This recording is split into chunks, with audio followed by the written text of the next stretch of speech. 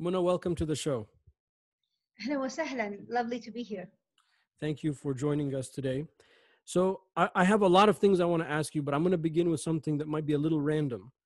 Uh, but it's a little story. Uh, hopefully, it's kind of funny. A couple of years ago, you posted something on one of your social media accounts. I, I think it was Facebook, but you were walking, uh, I think, in a mall or maybe a traditional souk, and you came ac- across a little stand, you know, a kushk that sells hijab for women, but they were selling the hijab for women with your picture on the packaging. Do you remember this? So it happens quite a lot because um, there is one particular picture actually that has captured the imagination of Muslim hijabis um, in the past 15 years, and it was um, a picture with me wearing a silver colored hijab which I have lost, unfortunately. I only wore it once. And this picture has been used to um, sell hijab, to sell oil uh, for hair. It has been um, used as political propaganda in Pakistan, where they've added five children um, along with me, um, saying that I'm voting for a certain hizb. It's Oh, been wow. on the cover of uh, Muslim um, or Islamic books in Bosnia, and so people, and in Yemen, I've seen it. Uh, people post me pictures of me in that particular hijab, selling something or advocating for something uh, for 15 years now. So it's it's quite funny. So you're I com- collect them. okay. So you've you've accepted this as a fact. Ah, yeah, I mean, uh, we don't really have copyright uh, uh, advocacy in in in the Eastern world. People feel if there's a picture on the internet or they got a picture, they can use it. Um, it's just flabbergasting to think that there is that one particular picture that people independently have liked and used. So It's, a, it's an honor. it's an honor, of course. You're you're also you know um, an icon. I mean, uh, most people know you from the TV. Of course, I know you. Uh, otherwise, I mean, I'll get into that in a little bit. I mean, I I know you because of your father. uh, whom I, I've had the pleasure of meeting several times uh, when I was an undergraduate student, and I remember talking with him and and and feeling like, yeah, this guy's too smart for me. i, I can't talk to him because I don't know I don't I don't know how to respond to the things that he's saying. But that's how I know you. But I know most people know you from TV, from uh, Kalam Nawaem. So I thought I thought maybe we would begin a little bit uh, there, if that's okay with you. Um, so, ca- yes. well i wanted to you know it's very you know groundbreaking work. Uh, i remember um, still you know from time to time when i'm in the middle east uh, it's on tv old episodes are on. Uh, you guys tried to broach uh, very difficult topics uh, you know push the envelope. There's a very nice little documentary i don't know if you saw it i saw it on youtube uh, in preparation for this conversation where they actually go behind the scenes. There was a, f- a film crew largely with you but with some of your co-hosts so, uh, you know, could you talk to us a little bit about that experience uh, and sort of it was uh, 15 years, right? You were involved with Kalam Nawaem? I was on it for about 12 years of the 17 years that it was on. I think uh, they have canceled the show this year. Um, one, because it's very difficult to make live episodes or new episodes with COVID, but also I think the era of that type of TV has over with social media really taking TikTok and Instagram and all these kind of stories um, taking over uh, that are instantaneous as things happen that have and there's like you know now analysts a dime a dozen so people don't have to wait for um, a week or so for us to come on the show and discuss what we think uh, it was an era Kalam Nawaem opened up a lot of um, people's homes and places that i would never would have thought that i could go into uh, it has made me um, a member of the family for many people they say that they feel like I'm their, you know, next door neighbor or like their sister or their cousin or their mom. Now, their mom, actually. A lot of people are like, we used to watch you with our mom. And I'm like, thank you. They're dating you. Yeah, they're dating you. So it's, uh, so, yeah, so dating me. But um, so the thing is, Kalam Nawaem in particular uh, was a revolutionary show when it started in 2001. Our first episode actually aired, I think, December 2001, post September 11. And I wasn't supposed to be on the show. I was supposed to be working behind the scenes, and then they said they actually would like me to be on TV. And it, being on TV is not something I ever thought about, wanted to be, or uh, even like really, because I'm an extreme introvert. Um, and Wait, what happened was. You, you're going to convince me that you are an introvert? I'm an extreme introvert. Really? Extreme, not just a normal introvert. I'm an extreme introvert. But uh, so one of the things about Kalam Nawaem was that it came after, you know, 9/11, and the reason I agreed to be on the show and I thought I'd be on the show only for about six months, holding a place until they find somebody else, was that I've never been able to see somebody who looked like me on Arab TV shows. Somebody hmm. who is a moderate Muslim, who is muhajjaba, but maybe not the best muhajjaba, who is educated, who is young, speaking about normal stuff. If you ever saw a muhajjaba, it's usually a Ramadan show or like an elderly lady doing some kind of kids show or a guest on a show, but you didn't see presenters who looked like almost 50% of all Muslim women in, in the Middle East, right? We have a huge number of women who wear hijab. And part of it was because people didn't think um, that visually hijab would look nice. So I, I really tried to make sure that I wore um, that I wore hijab that was nice. I spent a lot of time shopping, which I hate to make sure that I always looked murattaba, well um, uh, presented well, and there was nobody to be able to help me. Stylist did not touch anybody who wore hijab. And so it was a way to show that muhajjabas can be part of the conversation and can lead the conversation from A to Z. Um, and that was the only reason that I, I agreed to do it. And I continued doing it because I established really close relationships of friendships with Fawzia Salama, Farah Bseiso, Rania Barghouth, and Nashwa Riwaini, who are the original uh, Nawaem. And it was partially my love for them that let me continue. And then I left the show for about five years. And I wasn't planning to ever come back. And uh, Fawzia calls me and says, if I don't come back, she's leaving the show. And there's nobody like Fawzia, Allah.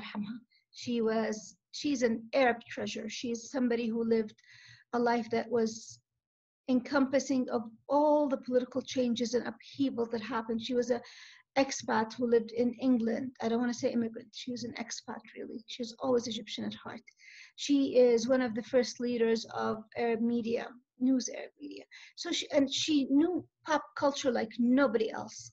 One of the most positive people, and her value of being on the show, I thought was greater than mine. So I agreed to go back so that she would stay, and uh, I stayed until she her death um, about five years ago and uh, the, the experience of Kalam Nawaem is interesting because I thought I was very cosmopolitan. I had lived my life between Saudi Arabia, Malaysia, and the US. Um, but what happened with Kalam Nawaem is that every single time we had a controversial uh, issue, and we had a lot of controversial issues. That's, that's an understatement. always- Hmm? That's an understatement. You you had a couple of controversial issues. But we always approached it with dignity. We always approached it with dignity for the subject as well as the people who were going through it. And I think we never sensationalized it. And that's the reason we were never, never, not once, except actually once. We were censored once in all the years that we were on. And it was because we brought in a lawyer who said some stuff and we didn't realize what he was saying was wrong. And then somebody who fact checked, because we do fact checking, um, uh, fact checked the stuff before it was aired said look he actually is using the wrong laws. Mm. and so for credibility reason we took that part out. But we've never been censored. And people don't believe this. And we've talked about everything under the sun. Because as i said our approach was about actually bringing comprehension and understanding and uh, empathy um, and also to change the way things were. It wasn't about just ratings. It wasn't just about you know being trendy. It really was about helping people make choices and giving them the right information that they need to make these choices in the important parts of their life. So one thing I, I learned that I, preparing for this conversation, I didn't know. I didn't know that it was filmed in Beirut. yes it was So what, I what was that schedule like for you, and the impact that that had on your on your family, on your on your kids? So if I wasn't divorced, I would not have been able to do Kalam Nawaem. Uh, I was a divorced single mom of two. I had a great supportive system with my mom helping me out, my sister traveling with me to Beirut every time I went. Um, of course, Beirut is one of the most beautiful, or it used to be, unfortunately, one of the most beautiful cities in the world. Uh, the culture, the history, the Arabness, the mixture, it, just an amazing, beautiful city um, to be able to visit. It was a privilege. And we would go for four days every month. It usually was on the weekend when my kids were with their dad, and then um, a day before and a day after. And I would uh, tape uh, all the episodes for the month. Um, it was neck breaking work, very hard. And I would come back um, and then take my kids from their father and basically continue for you know the whole month. And then every month that would be repeated for one weekend. Um, so it was doable. So for for uh, four uh, days a month the commitment but then an opportunity did your kids ever go with you a couple of times. I think my kids were with me on one episode for Mother's Day. Mm. I think I took them a couple of times when they were having their vacation, like you know, summer vacation or it was a winter vacation. So I would take them, and then my mom would come with me as well um, to help uh, entertain them while I'm at work. But usually, no. Usually, I went by myself. As I said, uh, because the kids were um, divided between me and their dad, uh, the custody.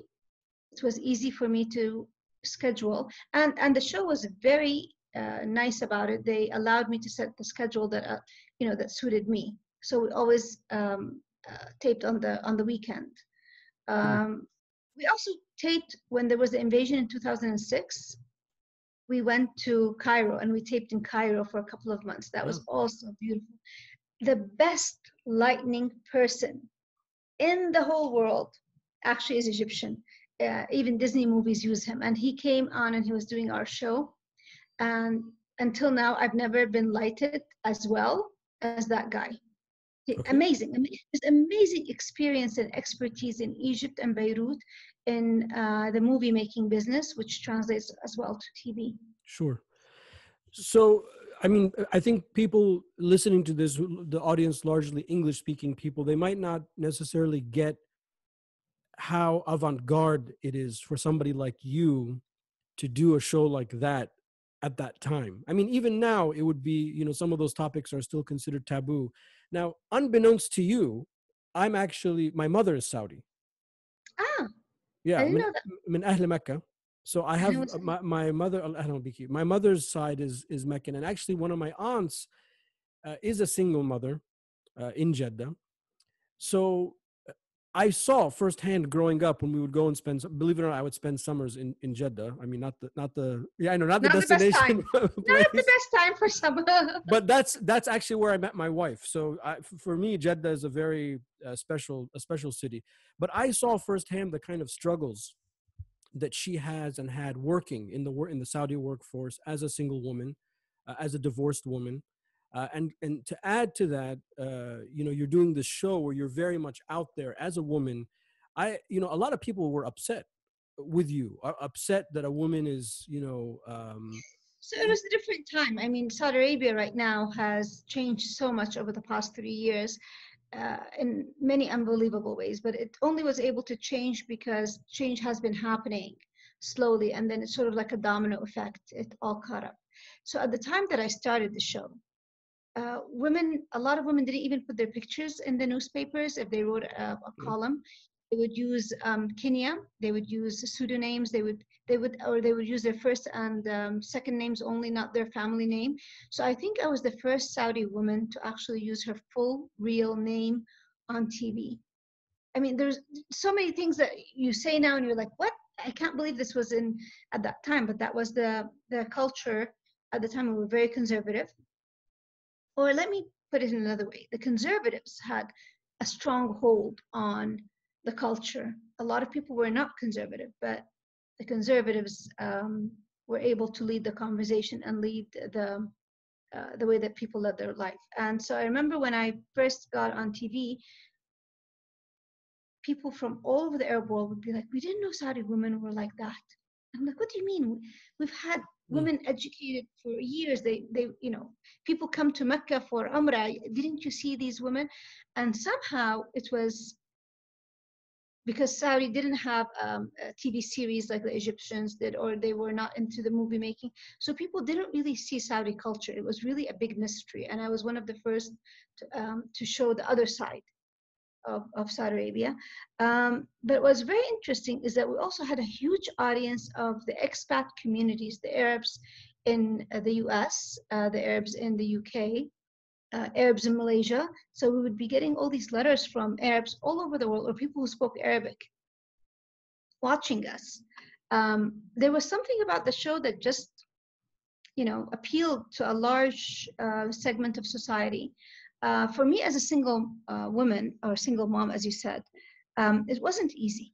But I think two things made a huge difference. First of all, I really did have the support of my parents who didn't want me to be on TV. My parents are very private people and they're like, what do you mean you're going to talk about your life and people know things about you? Mm-hmm. And um, so uh, they didn't want me to do it, but they were supportive of whatever I chose to do. So I had that help. I also I had a mentality of somebody who had I'm a third culture kid who had to move between um, countries, cultures, um, you know, from the east to the west to the Middle East. Uh, we traveled a lot, and so I'm able to adapt very quickly to whatever is thrown at me. I never think I can't do something. I mean, I used to tell people like, other than like surgery or like maybe um, creating like an actual car, not designing, but mm. creation of the actual car. I think I can do anything else. if I put my mind to it, I mm. could learn it and I can do it. But I won't risk it with somebody's life. I won't be a surgeon and I won't risk it with actually like creating something that somebody would drive. But I could design a car. I mm. could think about better ways to make operations. I could think of ways of looking at the world from any type of job. And I know I have such great confidence in my abilities that I could learn, um, that the mind is a wondrous thing, um, that I just was never intimidated by any challenge. So you talked about, uh, you know, being uh, a hijabi on the show and, you know, not seeing people like you, rep- you know, representing you in the media. That that's now like a booming sector, right? The the hijabi oh, influencer, yes. the hijabista, uh, hot hijab. I mean, I know this from my wife, so please don't get yes, any. Yes, there's not, so many. but I, to be honest uh, and just completely transparent, I'm fascinated by that because I have a daughter. She's still very young, but I always wonder in the back of my in my mind, you know, how what kind of influence or it, what will influence her uh, you know, based on our moral paradigm. I mean, I know for my boys, it makes a little bit more sense because I'm a guy, I grew up, I kind of understand that.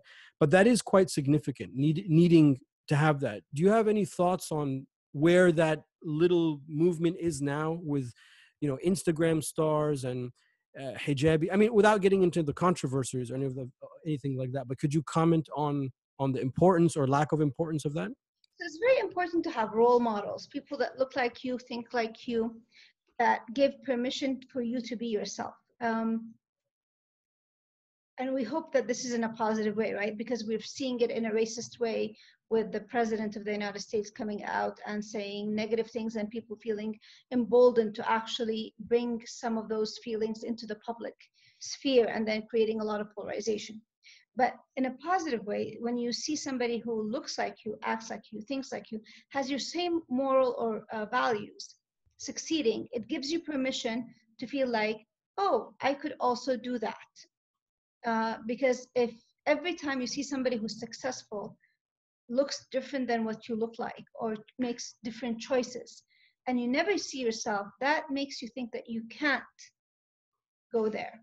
And uh, it's there's a saying it's like you can't be what you can't see right? Um, so i think we did help change that. I don't think it is as prevalent in media as it as it should be. I think we should have a lot more hijabi women in the media not in their own social media but like being accepted as part of the whole milieu. Um, i started a hijab business actually in 2006 uh, one of the first people that started it and the whole point was how can I actually help create modern clothing? Because shopping just took forever and you either look like a flower pot or you look like an ethnic person you know like ethnic wear and i'm living i want to i want to be able to go to milan and look like i'm italian uh, you know wearing italian clothes or go to the states and look like i'm an american wearing american clothes but also be hijabi mm. and so being like uh, where is the modern hijab where is the westernized hijab that looked very elegant and very modern and did not have uh, you know, uh, a cultural bent. Uh, so that wasn't there. This is what I tried to, to create. Uh, I realized I wasn't a great businesswoman, so I folded my um, company around in 2011 or 2012. Um, but we look at today where there's a proliferation of muhajjabas, and a lot of them are very young and they're very fashionable, and some of them I'm not sure is hijab, you you know, but at least they're trying. Um, it's a it's an attempt to find their own um, style. And when you're very young and 15 and 16, you want to be a lot more fashionable than when you are in your 40s, for example. So I think maybe also part of the age uh, uh, issue is that I don't understand what they're wearing, but at least they're trying. And there's other girls like them that are also trying and, and they find each other and they and it's a huge movement. I mean there's a, a lot of them. The other thing is that we're finding a lot of women once they become very successful they actually take off their hijab. Correct and yeah. that's actually it's, that's actually uh, quite sad um, because i think even despite the movement with a lot of hijabis and hijab um, styles coming out and hijab fashion brands and all these things, there's still a stigma about being a muhajjaba and being part of a global world and being successful. And that to be successful uh, at a certain level, you need to look like everybody else. So it's a bit sad. We're still not really at the level of complete acceptance of choices of women's wear whatever she chooses to wear as independent of her intelligence and of her position. Yeah, I had another guest on the show, and we were saying something similar. He was a guy, but we were talking about business, and I said, you know, I, I always find uh, when when uh, people become very successful in business, there's some there's somehow an inverse relationship to their practice of Islam like why why can't you just be very good at business and aggressive and and shrewd but you know you know just pray five times a day? What's the big deal? Why can't you be a hijabi and be successful and and just remain uh, a hijabi? And the reason i find it peculiar is that there was a time in the world believe it or not where europeans dressed like us you know dressed like muslims because that was fashionable and that was like considered aristocratic. no no no no no. It wasn't fashionable. It was because we were the dominant and strongest culture and people imitate that. And part of the hijab is that we're no longer dominant or the successful culture we're actually you know unfortunately we we we've lost a lot of um, advancement.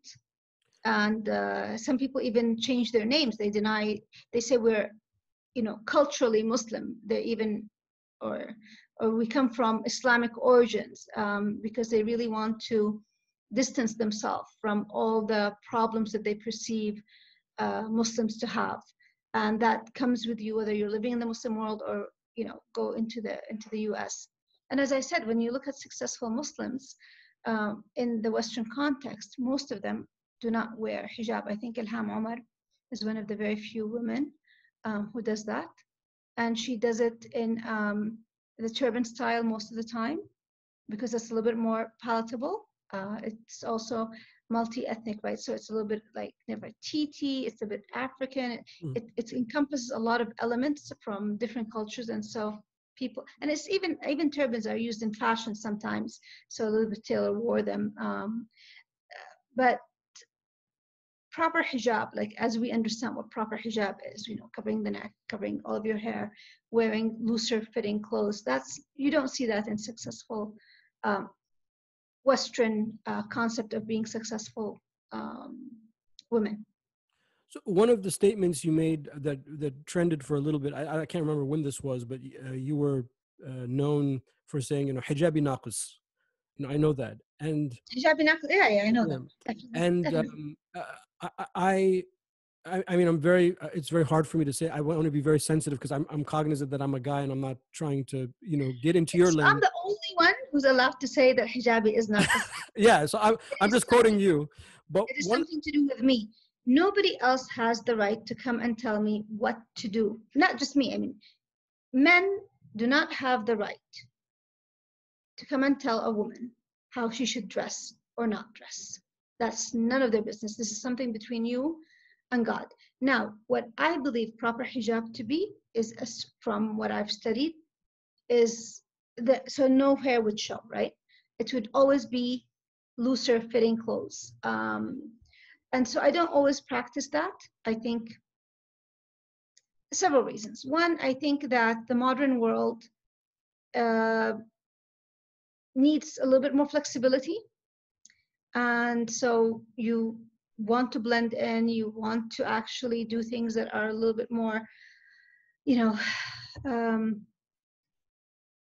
fun and that requires you to maybe wear things a little bit tighter stuff like that. It's it's not i, I mean I, I would i would have hoped by now um, that my hijab would have become better but it hasn't. But i'm comfortable with myself. I i think i do a lot of other things that are important as well islamically. Hijab is not my only uh, islamic practice and it's not for most women um, it's just part of the package and so i think the rest of the package is pretty good so i no, I, I agree with you 100%. Uh, not judging. I mentioned that because uh, what I wanted to say is you opened up with that statement like this space for women to say, look, I'm trying. I'm trying. Yeah, I'm exactly. trying, and this is my struggle. And because the hijab is so, you know, physically you see it, uh, and men, you know, uh, we don't have the equivalent usually but I can say the same thing about myself. I'm trying. I know that I'm naqis in my prayer. I know that I'm naqis in my, you know, my interactions with my family. I know that I'm naqis in, in this and that. And therefore I'm trying, you know, and, and that's that's what we call the, the greater jihad. That's our struggle.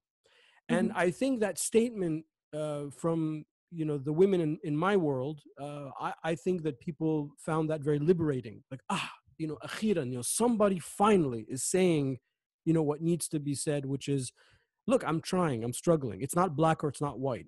And, and the funny thing is, when I studied, uh, I remember uh, many times I would be in the mufti's office in Egypt, and a woman would come in and would ask a hijab related question. And he'd be like, I'm not going to answer that question.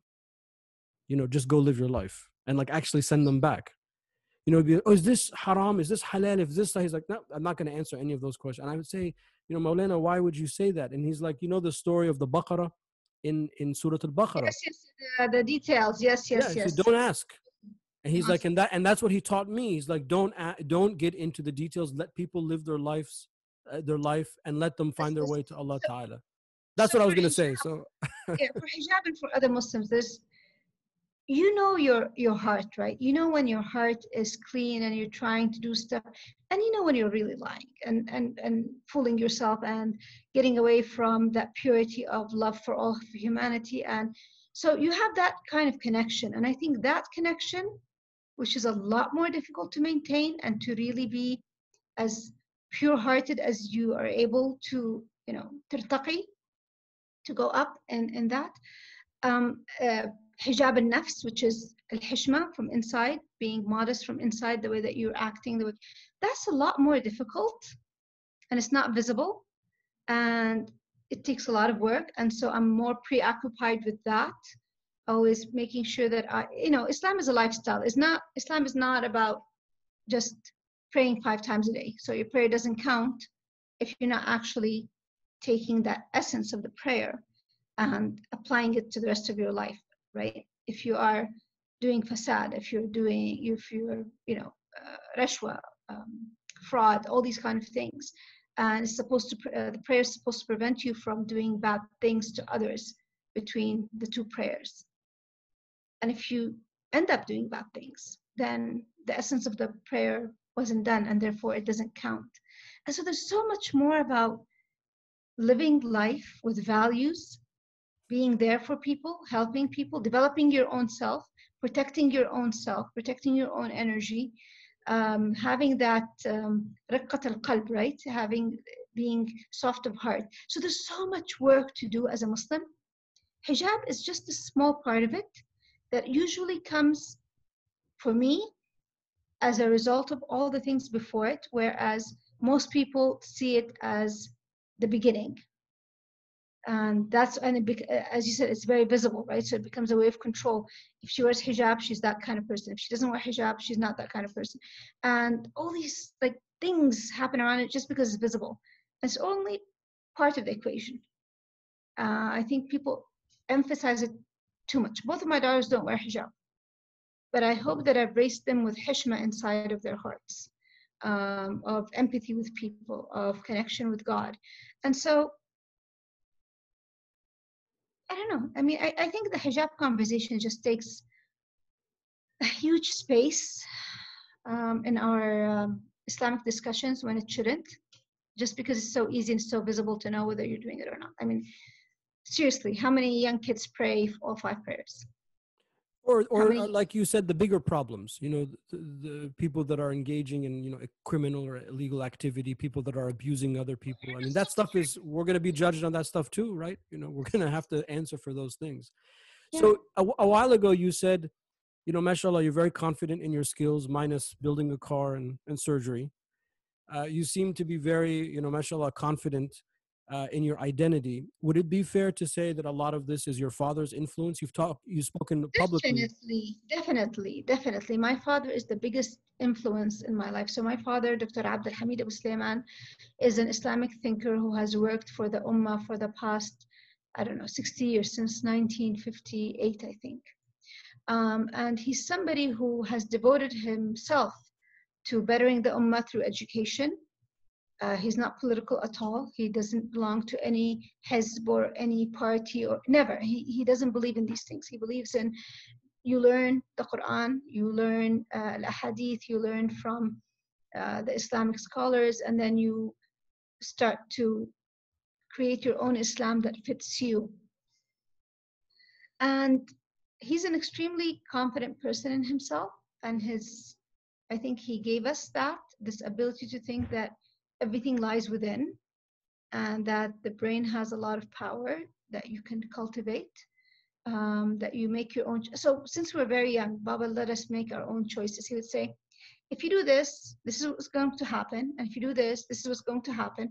And he is one of the wisest people i've ever met and i know a lot of people say this but he is as you said in the beginning of the talk yeah yeah he has a way of looking into the future and seeing how things happen and predicting stuff and it comes to pass. So things that he told me about 20 years ago, he's like, don't do this. Don't sign this. It's not a good idea. And I'd be like, okay. So I'd follow because he convinced me. And then 20 years later, if I had done what he said, I would have been in so much trouble. I, if I hadn't, if I had gone against what he said, mm. I hmm. would have been in so much trouble. And so he just has this way of being able to, uh, sorry, excuse me just it's Maghrib prayer in, uh, in uh, Saudi Arabia. So um, he has this way of really seeing the issues at heart, not being distracted by the noise, uh, knowing um, human um, nature very well, and making decisions based on that. And one of the things that he always says never make a decision in, unless you absolutely have to. So wait until the very last moment so that you can have all the information and then make it. And sometimes I would go against what he thinks because of my own experience, etc. Once I made that decision, he supports it. He doesn't like he doesn't say, "Well, I told you this is going to happen, so I, am not going to help out." No, no, he would always support me. Um, so he gave me a lot of confidence because I know I could always, if I if I make a mistake, if I fall, he's there to catch me. And that love of a parent is great, as well as having his intellectual power when I would be struggling with issues for the show or for other things, saying, Well, this is the way I think about this. But what do you think? And he would come and he say, Well, you're thinking about this because of this, you know, one, two, three but you have to really look at this context and it's something that i would never have thought about something that happened 800 years ago in islam or things that are um, about human nature and i would see why the real answer should be that versus this Um, and and for the show, I have to say sometimes I would hold back on my own opinion and I would give my father's opinion because you are talking to people from all the way from Morocco to Iraq. And he has visited all these countries. So, like he tells me, word it this way. If you're going to say this, this is the wording you need to do. And I'd be like, okay. And I, w- I would word it that way. Three, four years later, somebody from Iraq would call me up and say, Remember when you said this? That made me go and research, and that made me do this, and that made me do that and I realized that my dad was really so well aware of all the context that he knew that this could change somebody's life in, in some of the controversial, uh, the more mm. controversial subjects. And I mean, I'm just so grateful that I've had him in my life. Alhamdulillah. You know, you've spoken very fondly of him, and actually, you you and your father popped up for me in the most random eh, you know scene that i'm going to tell you so uh, i uh, i went to go see a book launch in downtown washington d.c a few years ago with tim ferriss who's launching okay. his new book mm-hmm. and my wife and i are driving back and uh, we look in the index and like, oh my god Muna Abu Sulayman is in the book so we pulled over, you know, and we pulled to your chapter, and I read, you know, the four, the few chapters that I have in, in front of me. And one of the things that you attribute to your father is the statement, take it easy, yeah, Azizi. Yeah, Azizi, yes. so my father, it's this whole thing about the dunya being fania, right? Mm. So don't agitate over things. Don't, life is much easier than you think. It's not as bad as the bad scenarios. So two things. He says, first of all, never make a decision until the very last moment. I, I love that. That's going to be my new motto. I, I absolutely, I, I totally understand what he means by that. Yes. Anything that's irreversible, don't take that decision until the very last moment. Don't make a decision that you cannot uh, bear the, the worst consequences of it. So you're going to say A, B, C, D can happen. If D happens, and I actually live with that Mm. And mm. so that's something else. And then the third one is that whatever happens, take it easy, yeah, Azizi. Don't and that like some people like I've been attacked a lot on Twitter, and people are like, "How come you're so very calm? Uh, why doesn't the bullying bother you?" And I'm like, "Yeah, it's just words on you know." So what? What? So if this happens to me, so what? I mean, mm. it's years of life. I'm doing my best. I know who I am. I'm not gonna let other people you know, take the joy out of life for me. And they did for a little bit. The first time it happened, the first time you get bullied on social media with thousands of people, whether they're bots, they're not, it doesn't matter. Everybody attacking you, you just go like, yeah. What just happened? And it then stings. it goes on. It, it stings. And, and, and, and especially that I was so loved before. Um, and it's not something nobody nobody can prepare you for this. Mm.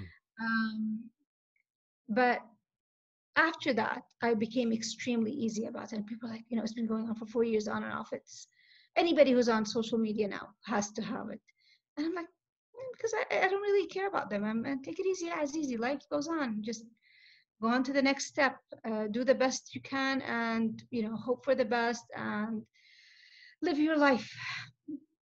So, Muna, one of the roles that I know you also from uh, in your uh, previous work was uh, working for His Royal Highness Prince Alwaleed, uh, running the foundation. We met there once before, and uh, you know eh, eh, that's that's a big task. And one of the things I read about you commenting on that is that I think you at one point you told His Royal Highness I, I would like some executive training, and then yes. you said I then I realized working for him is the executive training. So, so I've yes, been in that office before, like all the way in the top of the tower, and it's very intimidating, and everything's like very fast paced. And you know, I thought I was fast paced because I'm an American, but that was really fast paced. I mean, it was something. It was something completely else. Can you talk so, a little bit about that experience? So yeah, so it was like a, a MBA in, uh, in real life, real life MBA. Real life, one person MBA. So there's a couple of things that were very interesting about Alwaleed. First of all, he had very small teams. And so each team member had a lot more responsibilities for a huge conglomerate than is usual. so I think we're all 60 people, uh, all in all, running this um, the show from A to Z. So you For got the foundation. the- not just the foundation for his business. So um, Really, only sixty people. only 60 people. And basically you knew these people. And so our work intersected. So i wasn't just dealing with philanthropy. I one of the most beautiful things that i've ever seen that he did was he allowed us to sit on any meeting that we wanted. So every day we would have his schedule and he's the most punctual detail oriented person i've ever seen in my whole life um, every day we would have his meetings and it could be about something in hospitals it could be about something in hotels it could be about investments it could be about real estate it doesn't matter. If you're one of the top managers you can ask to sit on any meeting and he will allow you. And so you would be able to see how he would conduct that meeting and then go to the next meeting that's still about the same issue but from a different angle different people and what are the types of questions that he would ask and he would explain sometimes if you ask him like well why did you say this here? Why did you say that in that meeting? And he would explain his thinking was fascinating um, because he was so detail oriented as well you couldn't make a mistake. And he had the best memory ever. He would remember what you said like six weeks ago or six Mm. years ago or you know, six months ago. And so if you come back and say well this is how it is he'd be like but that's not what you said six months ago. You're like i don't remember what i said I don't remember what I did this morning. I don't remember what I did this morning. And so he forced me to become a lot more detail oriented. And I'm not, I'm a big picture kind of person. I like to draw strategy and look at how the pieces fit and then have people. Um, he would notice if there's a comma mistake in any letter. Mm. When it has gone through proofreading, several people, things like that.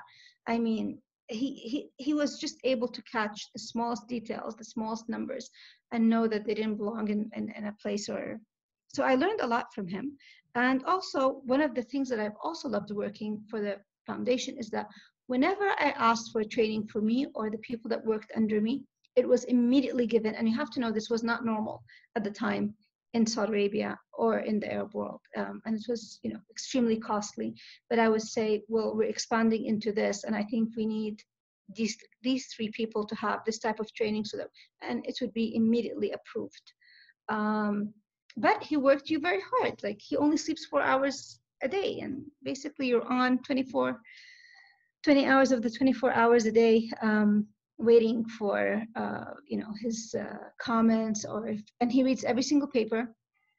So it could be that he's reading the paper that you sent him six o'clock at night. He'd be reading at three in the morning and that's when he's sending you a message Hmm. that you need to answer so And how long were you in that role for? i was there from 2004 to 2011 Okay. And I think I met maybe one of your successors, Abir. I think. yes yeah, I met Abir, uh, who who oddly enough is somehow uh, a friend of a friend of my wife's. I didn't even know. I didn't know. I didn't know who Abir was until I met her, and I was telling my wife, "Oh, I'm meeting with this person." She's like, "Oh, I know her. She's Fulana's friend." Because my wife grew up in Jeddah, as I mentioned Ah, yes, as well. She's Egyptian, but she grew up in Jeddah. Uh, and then is it if I if memory serves me correctly, I think the prince's wife is now running the No, no, no. foundation. So after I left, the prince, uh, we had Nadia Bakhorji for about a few months, and then the prince's wife, and then they got a divorce, and then Abir came in, I think, and then Oh, Abir was post the wife. Okay, okay. Housewife, and then there's I think now Princess Lamia who's leading it for the past few years, and of course the foundation has also changed from the time that I was there. It has grown, it has uh, restructured um, different strategies, different interests. Saudi Arabia now takes a, a huge part of their um, you know uh, uh, work, whereas before it was a lot more international, educational, humanitarian um, during my time. But you know they're doing phenomenal work. My my experience is that uh, he, his decision making is quick. Is that accurate? Like he can make a decision quickly and decisively. It's, accurate and it's not accurate. As I said, he's able to retain huge amounts of data in his mind going back to years. So he's making a quick decision, but it's based on a lot of information. Now, the the weight of information that he gives, we might agree with it or disagree. So he might, you know, that that's that's it's, it's his own decisions.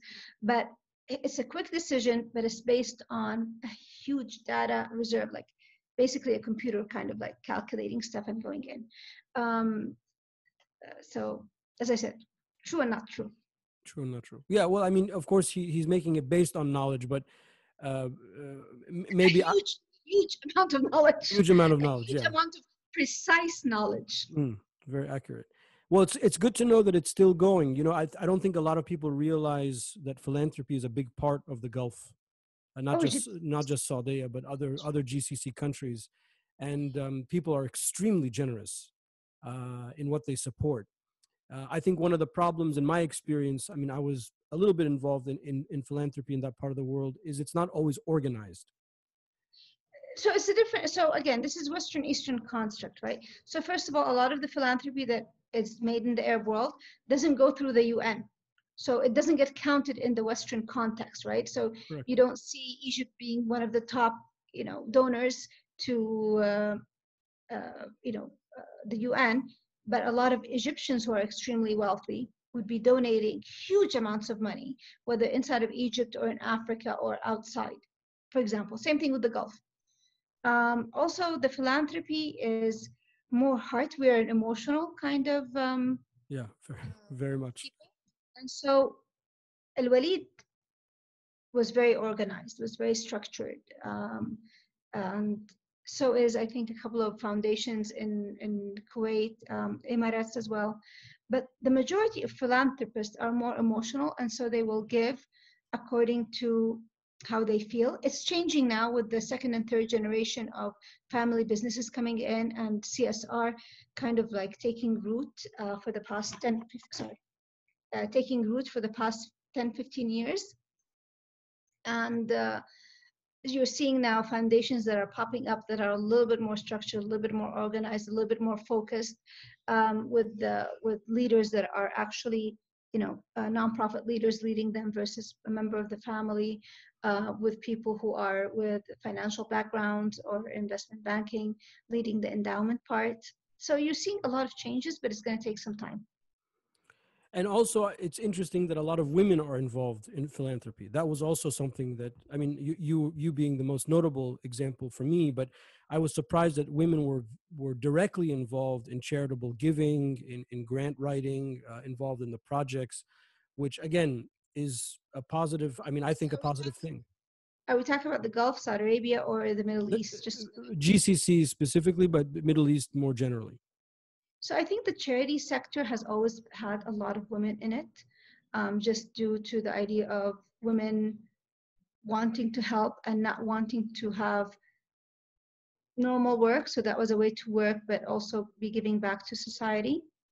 Um, so from you know the 1950s, you'd find a lot of organizations that would have women uh, be the back and uh, the backbone of it um, I think in the decision making, as more women became wealthy, they started their own NGOs and they would be the chairman of the board, for example. Mm. Uh, and they would hire a lot of women. So you find a lot of uh, ladies working in the charity sector because the opportunity also opened up uh, for them to be part of that workforce. But the real money is mostly with in philanthropy. You think that will change over time more? So I, I don't think so because I think what happens is that the women in the families actually end up all pooling their money with like the father or the son and him taking over uh, the philanthropic uh, sector.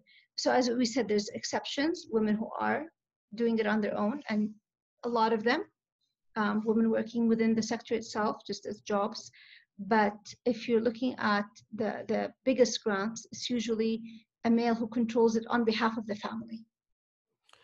So, Muna, one of the other things I learned about you, which was new for me, was your involvement at Yale as a as a fellow, and I'd love to learn more about that. I um, uh, I think it, in conjunction with the Tony Blair Faith Foundation. I, I was involved with the Yale World Fellows in 2009 before they became the Greenberg Fellows um, as a global fellowship, trying to bring leaders from all over the world and give them a network and skills that they would need to, you know, do their work. It was one of the best fellowships that I've ever, I've ever been on. Um, it opened up um, a lot of expertise, especially in the divinity schools and in the business, um, the management, um, salon management school, um, so that I was able to lean on that later on for other things. Um, but it was not associated with Tony Blair. Uh, at all at the time. I don't know if it became associated with him later on. I do know Tony Blair came to Yale, uh, but I've never attended anything for Tony Blair. And how long were you at Yale for? Uh, oh, it was six months. Six, Six months. months. So it's not the it's not the prettiest city. Uh, having gone to Princeton, I, I always have to point out the deficiencies in the other Ivy leagues. But yeah, alhamdulillah. Yeah, no. I see. This is what I told you about being a third culture kid. You you put me anywhere, I'll find uh, you know a beautiful spot. I had a beautiful a little home that I rented out for me and my children there. They went to school there. Um, New York was just an hour and a half away.